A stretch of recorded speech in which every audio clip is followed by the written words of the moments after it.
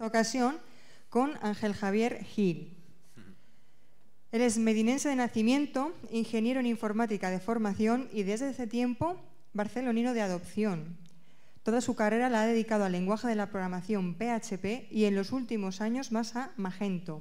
El año pasado se incorporó a una startup con base tecnológica en San Francisco, donde se encarga de desarrollar los plugins de PrestaShop, Magento 1 y 2 y WooCommerce. Y su charla se titula A Wisdom WordPress. Un aplauso para Ángel Javier Gil.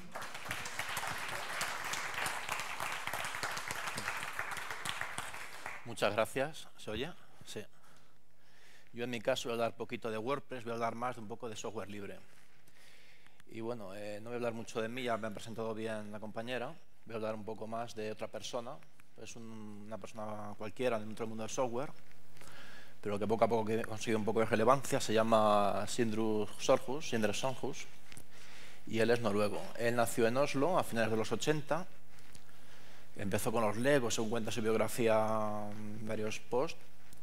Y con 8 o 10 años empezó a tocar el ordenador de la familia, el típico, la típica torre con el monitor grande. Hacía sus cositas con guías animados, con imágenes, con cositas de estas, hasta que un día descubrió el código fuente de, de HTML de las páginas, del navegador. Fue poco a poco cogiendo más habilidades, cogiendo soltura, y con 18 años ingresa en el ejército en la unidad de medios donde pues, toca más, más programación, tocaba la intranet del sistema y cuando acaba su periodo militar, pues pase, recibe una oferta a la unidad de defensa cibernética del, gobierno de Noruega, donde está por durante, durante, cinco años. Es en esta época, en el año 2011, donde conoce GitHub. ¿Quién conoce GitHub de aquí? Perfecto, está. Allí pues empieza con el proyecto todo MDC, MVC de que es un framework para selección de, herramientas de JavaScript. Y allí conoce a Diosmani, con el que se hace amigos tal, de online. Y con el paso del tiempo, Diosman recibe una oferta de Google, va a trabajar a Google y se integra al proyecto Geoman, que es más de scaffolding, de andamiaje, donde él pues, empieza a participar como agente externo, ¿no? como colaborador externo y cada vez pues, tiene más relevancia dentro del mundo del software libre. Y él pues, ha llegado a explicar citas como esta. ¿no? esta se refiere más a lo que es la colaboración entre diferentes personas que no se conocen, donde el trabajo pues, se aprovecha de uno a otro, que son cosas que parece tontería, pero en, la vida laboral real no se, no se ve tanto. Luego también habla del tema de la comunidad, de, no solamente a nivel de trabajo, sino también a nivel de, de, conocer a otras personas. Y finalmente que el móvil no siempre se basa todo en, el mundo, en lo que es el mundo económico, en el resultado económico, sino también en buscar eh, soluciones más apropiadas, más, más interesantes.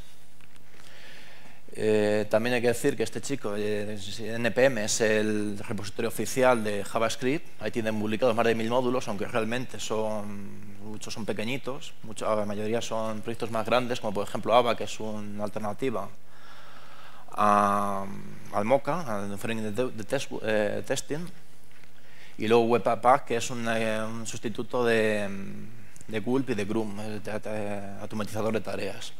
Y otra característica suya es que está obsesionado con los unicornios, siempre los utiliza como un recurso estético pues en, su página web, en presentaciones, etcétera, etcétera. Actualmente vive en Tailandia, resulta que renunció a una oferta de Google, prefería vivir, trabajar para el mundo del software libre y tiene muchos seguidores en GitHub, Twitter y luego está Medium también, que es una herramienta, es una plataforma de blogs que está creada por los fundadores de, de Twitter. En este caso, pues este también tiene una cuenta de Patreon que creo que tiene ingresos eh, constantes de 1.500 euros mensuales y luego aparte tiene por colaboraciones, donaciones, donaciones eh, puntuales, que lo que quiere decir que se puede vivir del software libre, aunque parezca mentira, pero se puede, se puede vivir profesionalmente del software libre.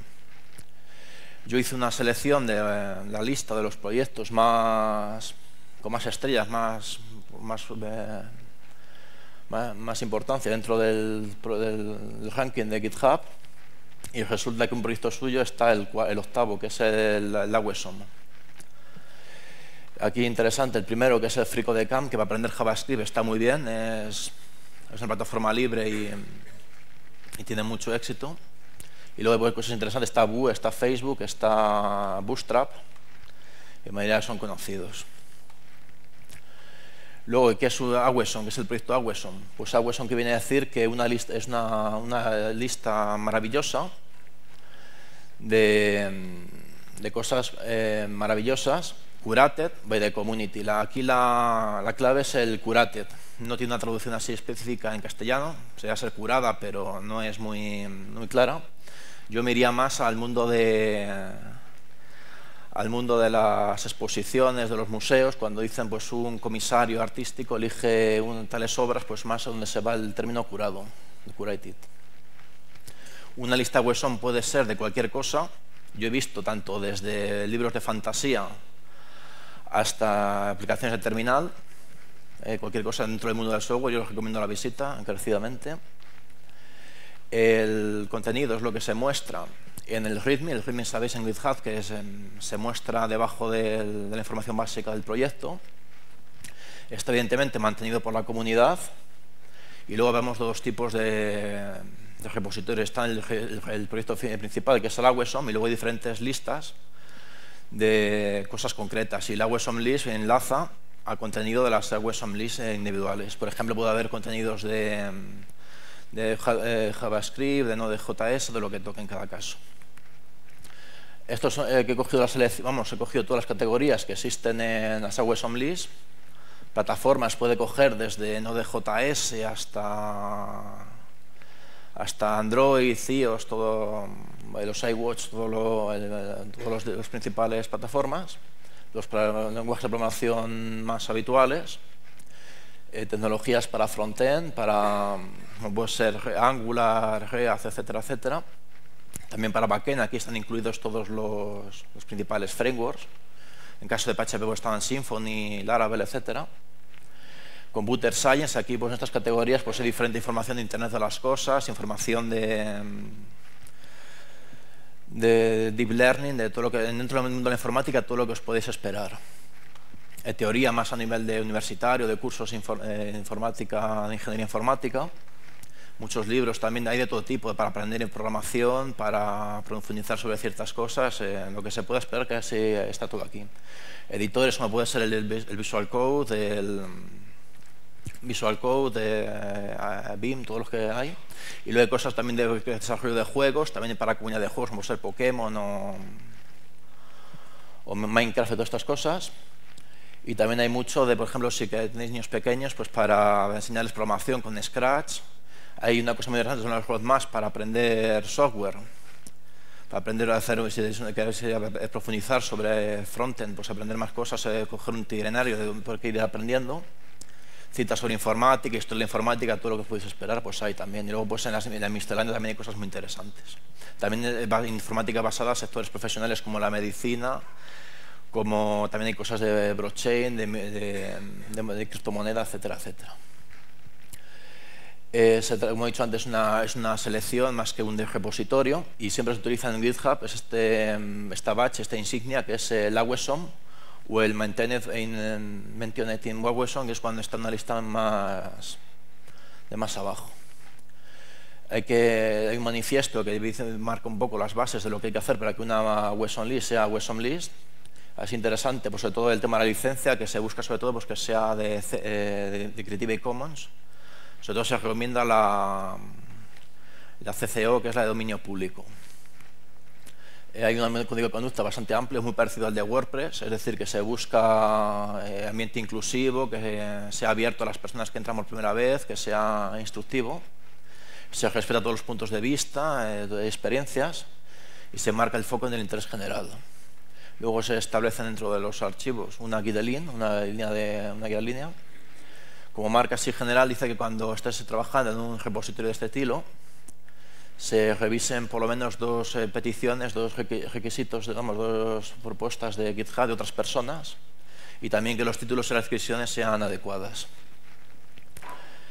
Y luego pues hay diferentes herramientas para hacer la lista y también pues este, se pide que esté madurado durante 30 días, que tenga un tiempo que es eh, eh, detrás del mantenimiento. Y luego, pues, por lo demás, pues cosas que son básicas, e incluir la insignia, eh, eh, no duplicar propuestas, cosas de estas. Y finalmente, pues en tema de WordPress es curioso porque hay un, un, link que es a Wesson eh, Gatsby, que es un generador de sitios estáticos, pero no existe una, una lista de WordPress como tal. Y aunque hay varias propuestas, yo creo que en breve estará. Hay, de, por ejemplo, de Umbraco, de Drupal, de, otras, de otros CMS, pero no hay de, de WordPress. Pero yo creo que si no también la podemos hacer nosotros en la comunidad, yo creo que esta charla hubiera estado bien hacerla en el día del contributor. Aquí os he puesto algunas que están hechas en WordPress, que posiblemente estén en un futuro aquí. Esto es como se estructura la, de WordPress, lo, el, de Minición, que es la más grande que he visto. Estos son los lances que propongo y, muchas gracias. Muchas gracias.